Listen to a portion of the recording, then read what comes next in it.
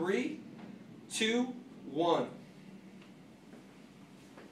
Hey, I'm Brad Smith, NFL wide receiver here at Kiehl's Spa 1851, here to get a little shade. So let's get into it.